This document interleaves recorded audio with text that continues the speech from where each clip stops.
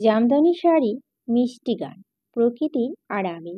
নিজের সাথে নিজের কাটানো পুরো সময়টা যেন দা বিস্তারিত থাকবে এই ভিডিওটিতে। ভিডিওটি না টেনে পুরোপুরি দীর্ঘ আট মাস পর নতুন করে চিত্রনায়িকা বুবলি আবারও সিনেমার কাজে ব্যস্ত হয়ে পড়ছে। নতুন করে সিনেমার কাজে হাত দেওয়ায় বুবলির ভক্তদের মনে খুশির জোয়ার বসেছে। এই খুশির কারণটা হয়তো বুবলি তার ভক্তদের সাথে ভাগাভাগি করে নিয়েছেন। তাই তো বুবলি তার ফেসবুক পেজের মাধ্যমে ছোট ছোট রিলস এবং কিছু ছবি আপলোড করে তার ভক্তদের জানিয়ে দিচ্ছে।